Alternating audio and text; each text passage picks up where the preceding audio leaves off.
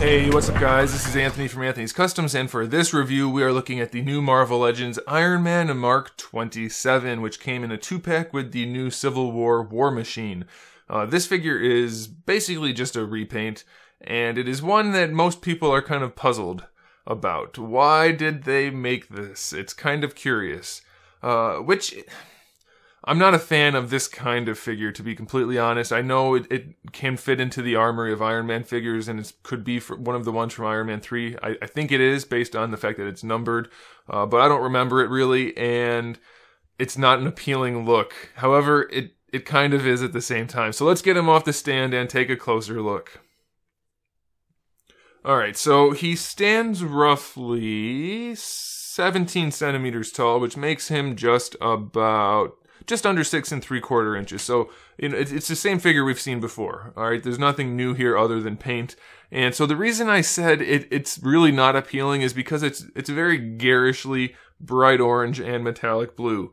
Uh, it's it's just bluish purple even. It, it's very eh, I don't know. I it's just not a practical look at all.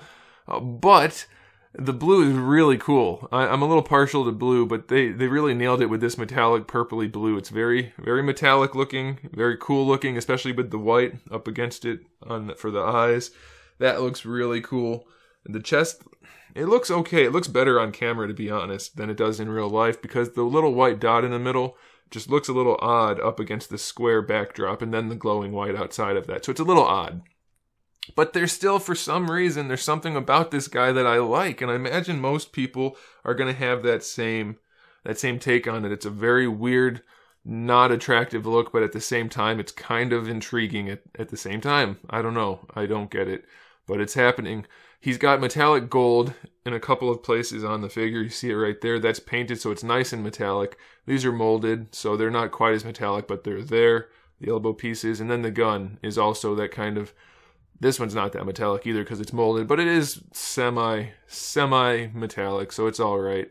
And the rest is just this blue and orange. And the orange is not good. It's not painted well. You can see it's rather dark here and kind of dull. It's pretty bright over here. It just goes back and forth from paint job to paint job, so it's not particularly good. And there's a lot of translucent uh, parts in that they didn't put enough paint down, so it doesn't look great. But if it's just going to stand there and be part of the armory, it'll look okay. Uh, I doubt many people are going to buy this two pack because of this figure, but I have a feeling most people are going to kind of like it once they get it. I, I'm on that. I'm on that boat.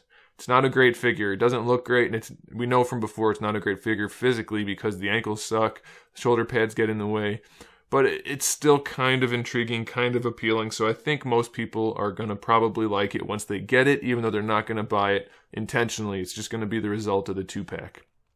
So there you go. We don't need to run through the articulation. We've seen this exact mold before, so no big deal there. Thanks for watching, guys. Make sure you subscribe to the channel so you can see my upcoming figure reviews, custom figures, and other good stuff. And in the meantime, keep collecting.